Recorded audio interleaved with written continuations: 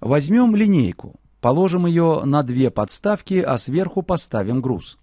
Линейка изменит форму под действием приложенной силы, прогнется.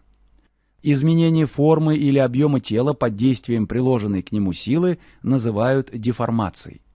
Снимем груз с линейки. Она примет прежнюю форму. Таким образом, после прекращения действия силы деформация исчезает.